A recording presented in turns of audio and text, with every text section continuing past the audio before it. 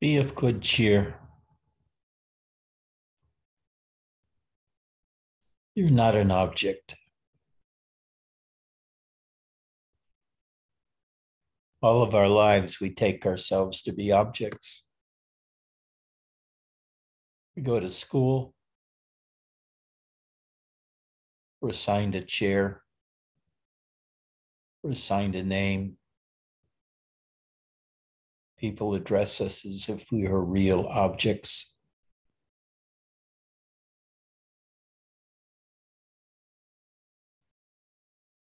But Ian, you're not an object.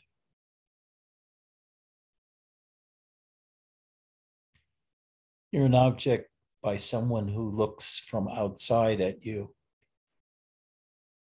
And they just see your body and your mouth moving and the sound coming out. Speaking God knows what about God knows what. Then people give you attributes. He's dumb. He's really smart. He's a worthless hunk. Whatever. And gradually our identity takes shape.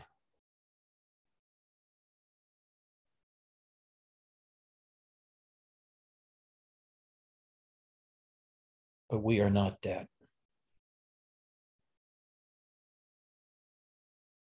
in Western philosophy, philosophers talk about the world of form, shadows and light, the existential world, the world that appears and is filled with objects. This is called the phenomenal world the world of appearances. And they invented another supposed existence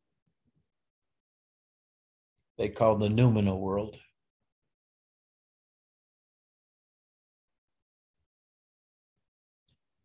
Which theoretically is the world behind the appearances.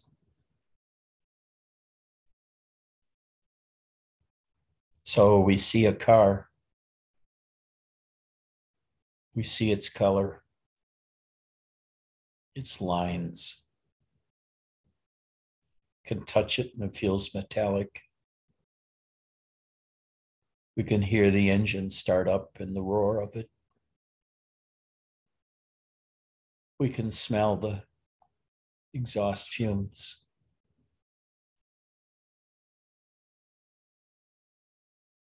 And we know more or less how it works.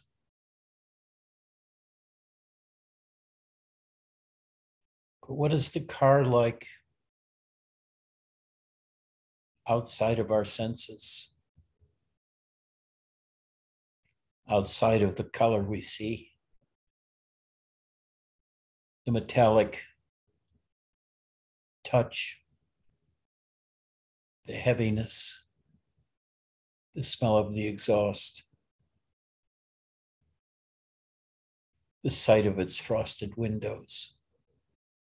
What is it like by itself, unseen, unheard? This is the noumenal world.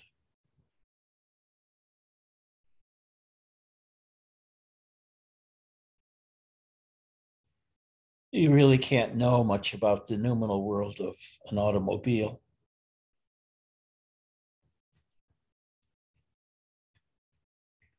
How can you talk about a car other than talking about its appearances? There's only one real word uh, world object that we can talk about what it's like to be that object, and that's you.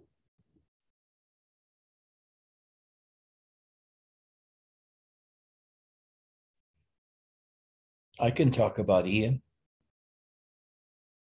describe him. Same with Eric, can describe him. Sing his praises or damn his actions. I can talk about Putin, Biden, Obama.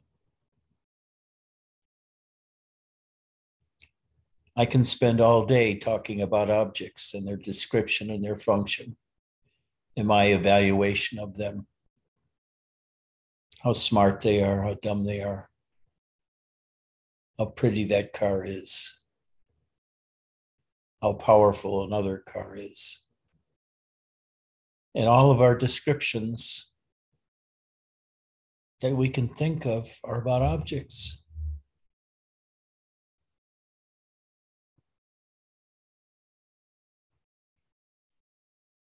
But if you ask about what a thing is like into itself or onto itself,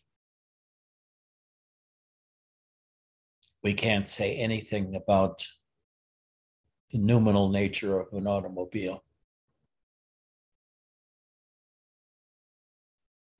We can talk about it in terms of atoms and molecules, and metallic properties and melting points and all of that.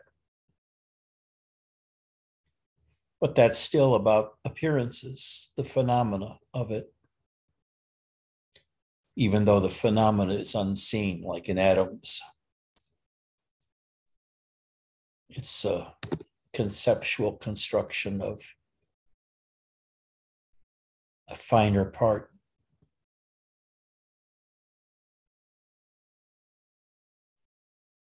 Of the world that we see, hear, taste, and touch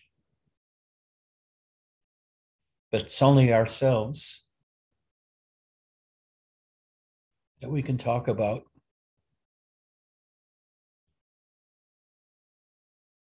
As the self, as it is in itself.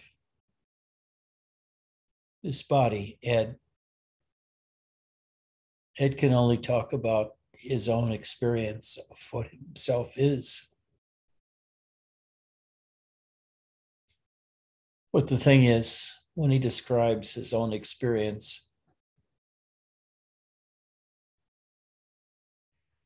he has to use the concepts which are used to describe the external world.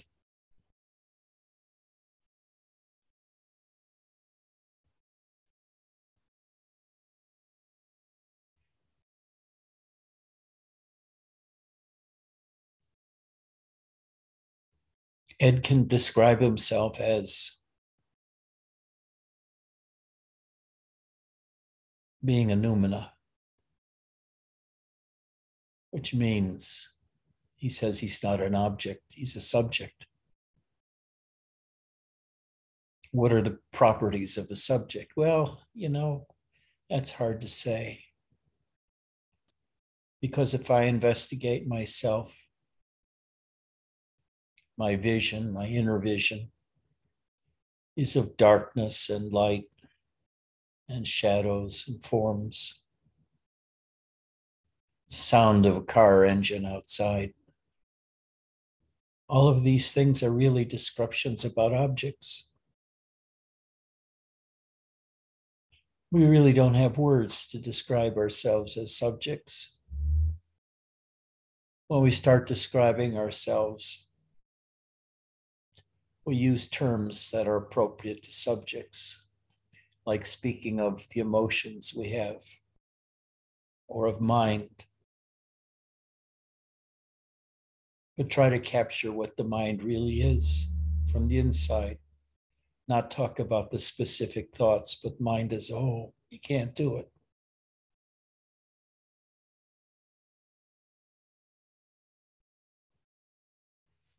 Words can't touch who you are. Even in the, the vast panoply of Eastern philosophy, when the scriptures describe who you are, they do it in words which are appropriate for objects or the description of the field of objects. But they can't really describe how you perceive yourself or the world.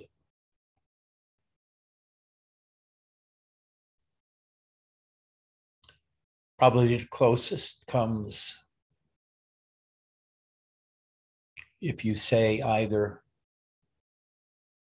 I am consciousness and so is everything in the world. All the things I'm conscious of. But that ignores the fact that there's a difference between the subject and the object. I, as the subject, really, I can't find anything in me that I can describe as being me. I could get clever and say, I am the knower. And that may open up some boxes for me. I can say, I am spirit. And I like that one.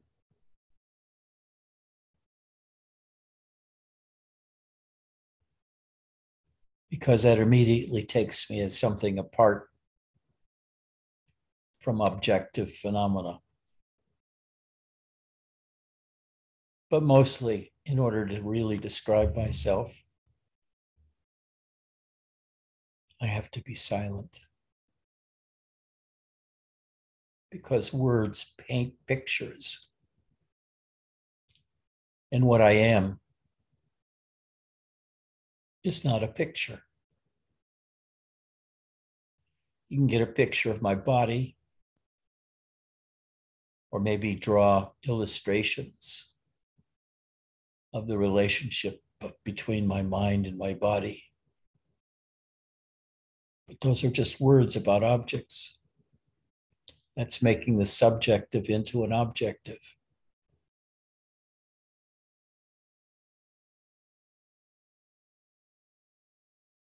I can say you're the perceiver of the world and your own subjectivity. But what does that tell you that you don't already know?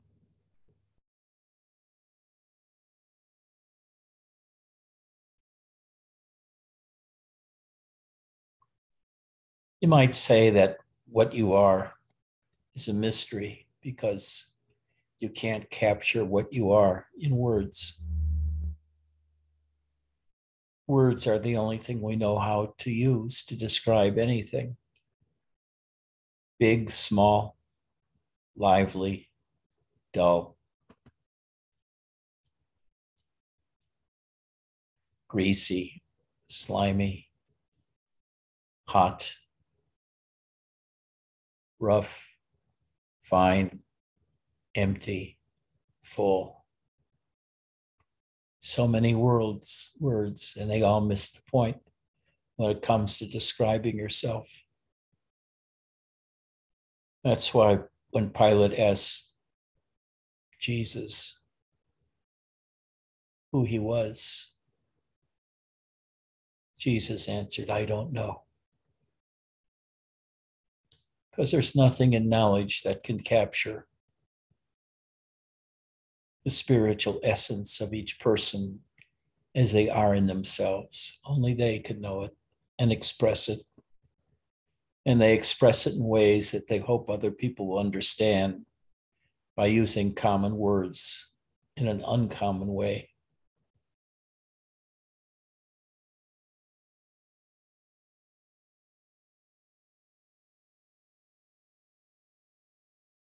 To know yourself you can only be yourself and be aware of your being self,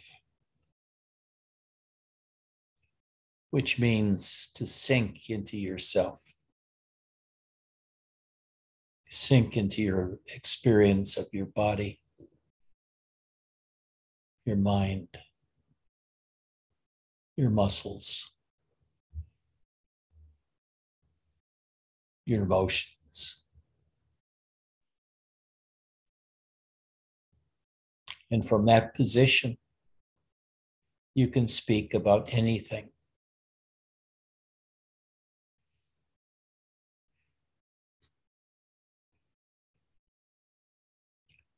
So, why do you want to know who and what you are?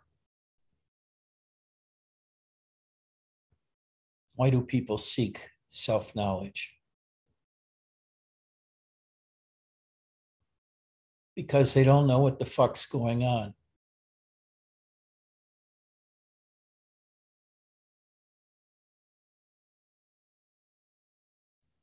I had back in the old days when I was doing psychotherapy. I had one student I really loved.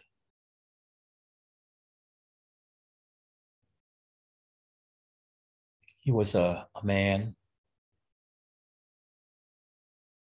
about 20 years younger than I was, body wise. Incredibly intuitive.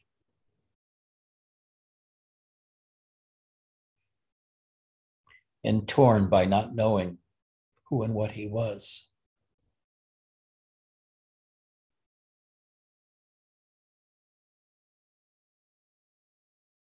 And one day he told me,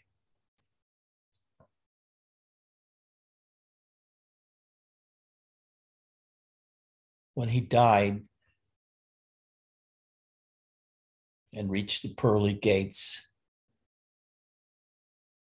he had one question he wanted to ask God.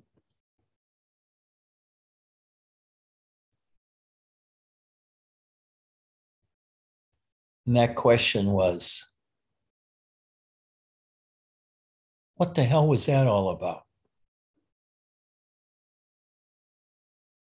The so called life. What the hell was that all about?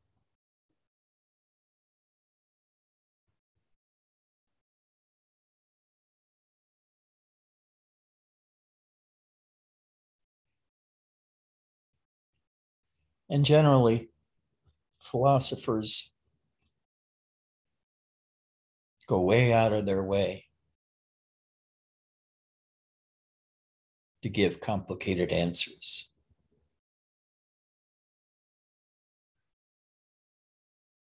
It's all about finding meaning in our life. It's all about emptiness. I am emptiness that is sentient. What does that mean? It means I'm not an object that I can find anywhere, but I sense objects. What does that mean? Etc. Etc. None of these answers really satisfy.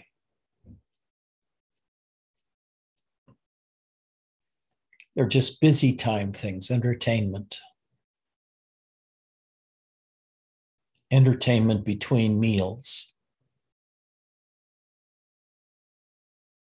or instead of watching television, or instead of taking a car trip to Sedona.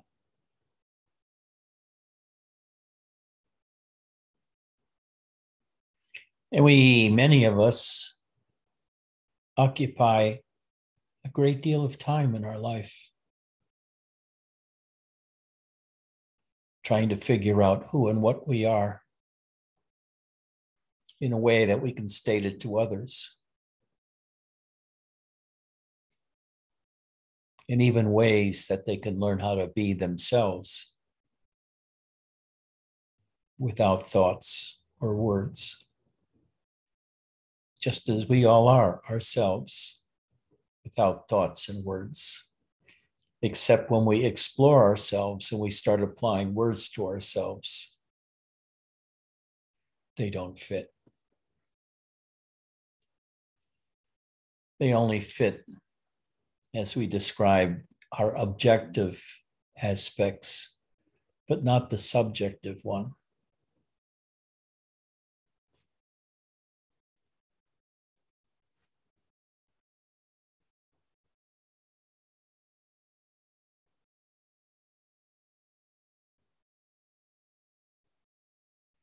And if you look deeply enough into who you are, as well as what other people are, you realize you don't have a clue. There's really nothing to grasp.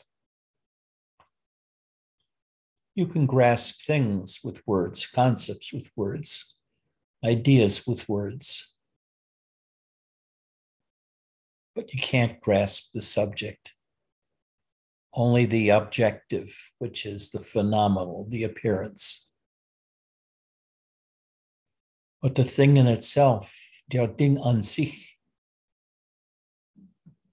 the noumenal, is out of the range of description. And when we start describing it, it changes. The more and more we objectify our insides, our subjectivity, the more we give up our freedom of being nothing, so to speak, and acquire a new objectivity of our own inwardness. This can go on for a long time. Could you describe our feelings? We describe how we see and what we see. We describe what we feel. And you know, no matter how much we do it and how well we do it, we really don't feel like we can describe ourselves. What I am escapes definition. So when it comes to knowing myself or describing myself, which are more or less the same thing, I'm utterly helpless.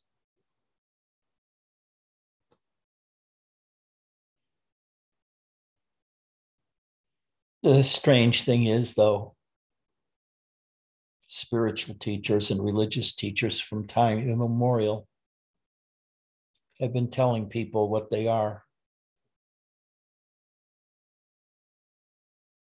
And people follow them. And they join one group or another, depending on their education and their intuition, how sophisticated their intellect is.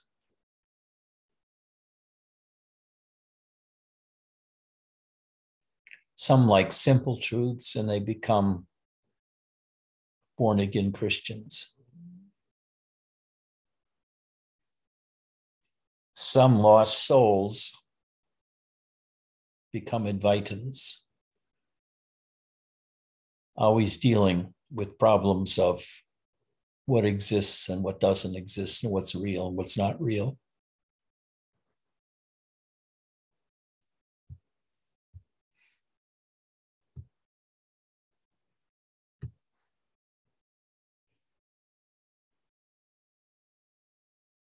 So, what are you?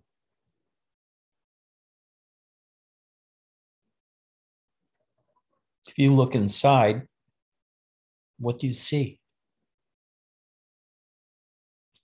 Is looking this inside yourself imaginatively the same as an object knowing itself from the inside?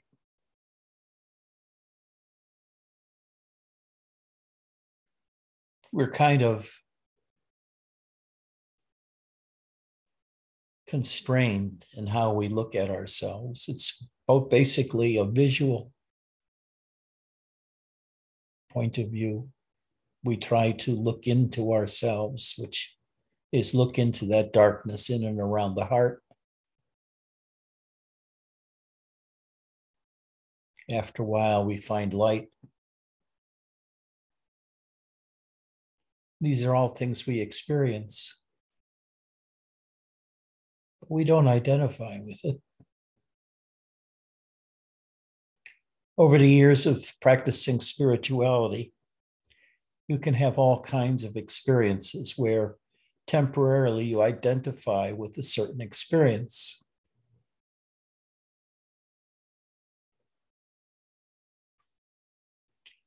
Like when you get very familiar with experiencing emptiness in meditation, One day you might first experience yourself as the totality of emptiness within. Then you might identify with the totality of objects which you sense because you are absent, there's nothing there. So you become the world.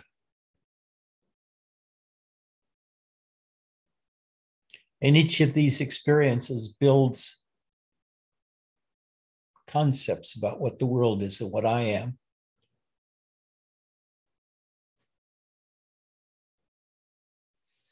Robert used to say, You are Brahman. And people would repeat that all the time. Back then, we didn't have Facebook, but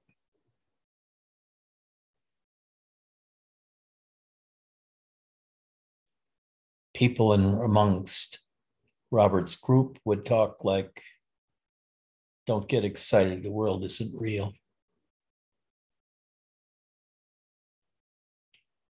You know, I don't think they actually believe that. They were copying Robert and they thought it was an intelligent thing to say. It's only Robert that thought that the world wasn't real. The rest of us thought the world was real.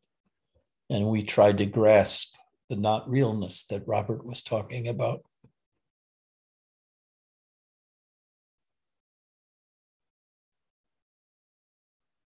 I never, never really grasped the not realness. Now I can. And what generally is meant is that the world of phenomena, of forms, is ever changing. It's like a continuously kaleidoscopic changing image with added sounds and smells and tastes and touch. It's a constant flow of sense data from objects in the external world. There's nothing that stays constant, it's all moving. Here one day, gone the next.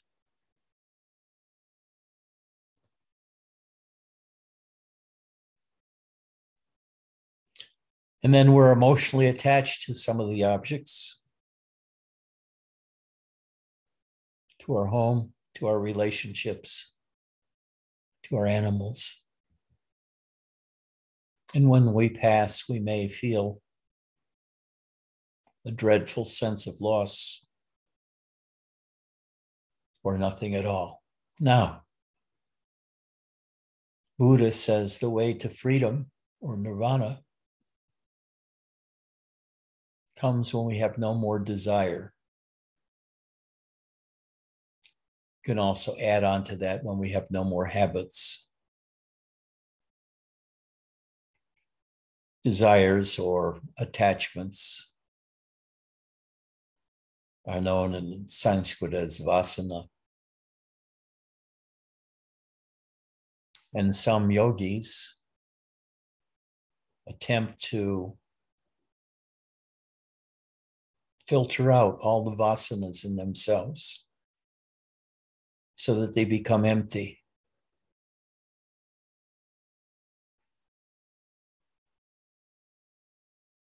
An empty gourd, so to speak, with no identifications, not identified with the body, not identified with the feelings. And yet, when you're in psychotherapy, psychotherapist as you immerse in the emotions inside allows yourself to be overcome by the grief the loneliness the loss the anger the love bliss and takes that as being the real you But a spiritual person is not so lucky. because the teacher will say, you're still identified with objects, just more subtle objects than the rest of us are.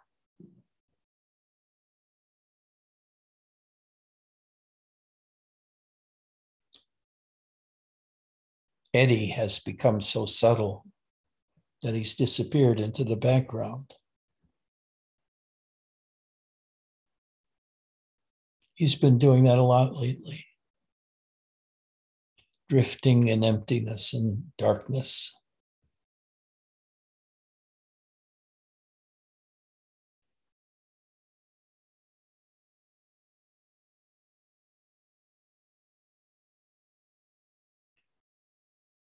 It's a crapshoot. You can think of all of spirituality as an attempt to illuminate that which has no form. So the illumination only points out more subtle realms of objects, emotions, energies, God,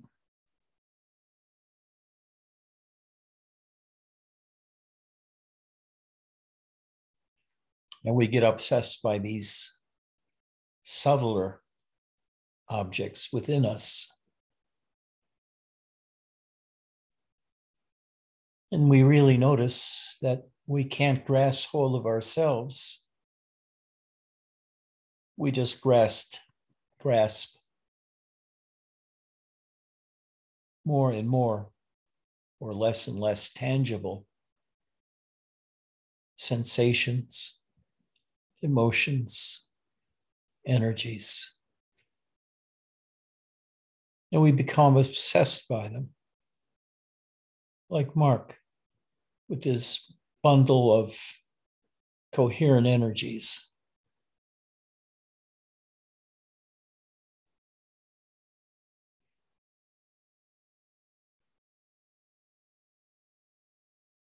But the wise man continues to look and finds that there's nothing he can grasp or she can grasp.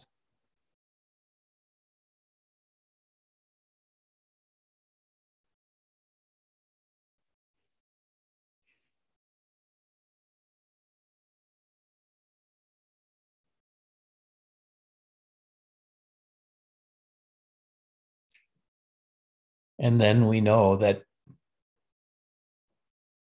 it's impossible to label what we are.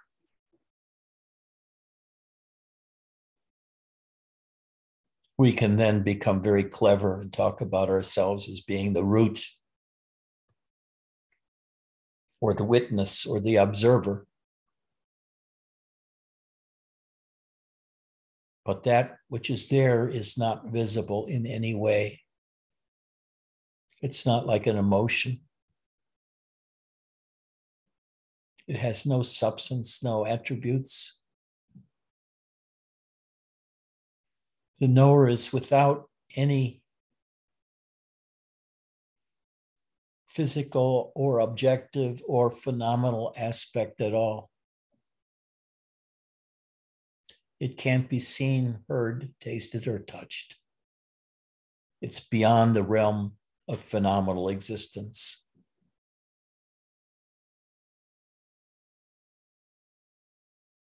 And supposedly, when you realize that,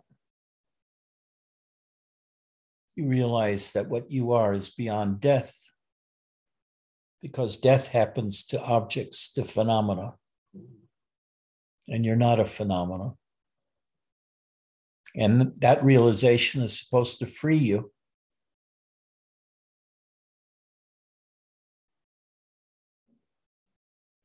From the fear of death.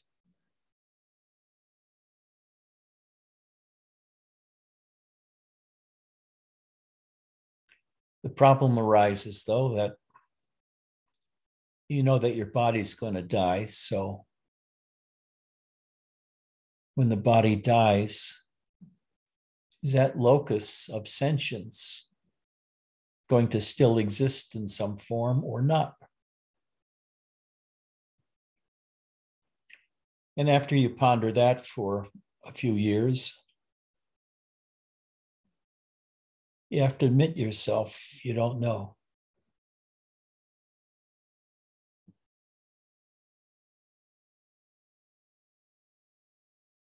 And you'll have to lay down the koan, what am I?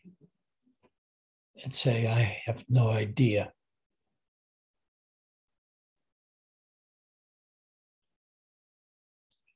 Or maybe you do have a foggiest of an idea because you can seem to grasp the totality of yourself by resting in yourself. But you can't express what that is. Even if you give it a name, the name is something external and really doesn't seem to fit because you know what you're trying to describe is beyond sentience.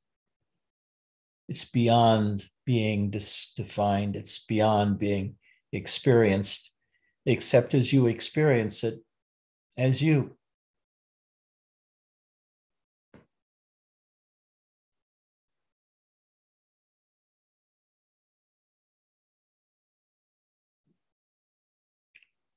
Realize even saying I am in no way describes the absolute, describes what you are. It just describes two words. One is a noun, and the other is an adjective or a, a verb, I guess. Amness is a verb.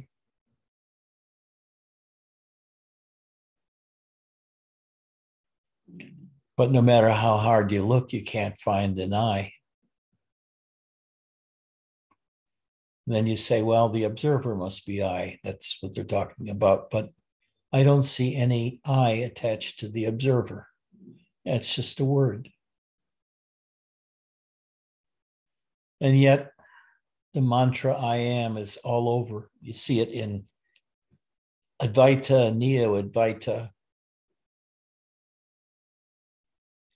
and lots and lots of places. Amness means existence, but what does existence mean for the existent? What does the existent mean for Mark or Michael T or Michael K or Maxie? Or VJ or Frank? Does anybody have the slightest clue as to they are who they are and what they are? Or like Christ, you have to admit, I don't know. I don't know what I am words apply only to the phenomenal universe, not to the noumenal. Descriptions only apply to the phenomenal wor- world, the world of appearances, but not to the noumenal, the subject.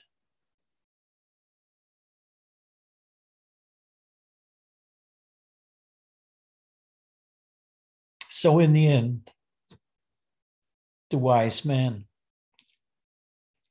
stops searching for himself and says to himself, Oh, fuck, what's on television tonight?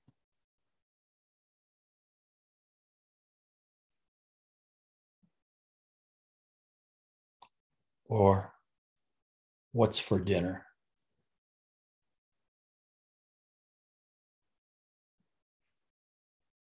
There's nothing to be known. And that's literally the case. There's no thing in you to be known. You're not a thing, you're not an object.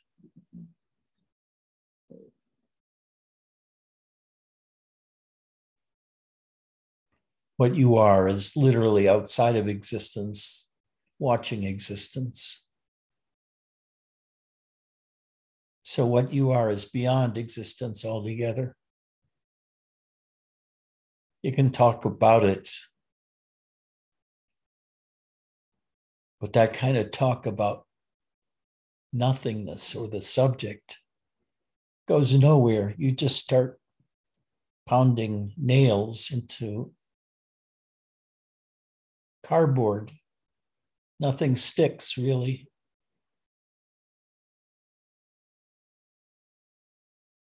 And if you're wise, you give it up. You say, I don't know. I don't know what I am. I don't know what you are. I don't care.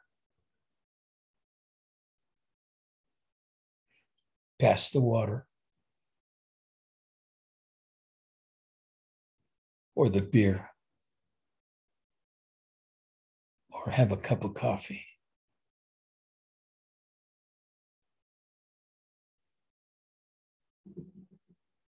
And suddenly you're free of the mind and the need for the mind to know these things. Because the mind does that, it knows things. And there's a apparent feeling of power the more we know. Makes us arrogant because we know and other people don't know the truth.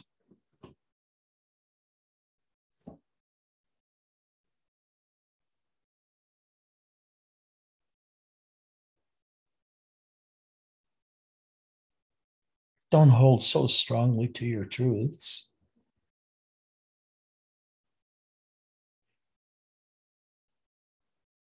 Every truth spoken by anyone is an untruth for someone else, is a lie for someone else.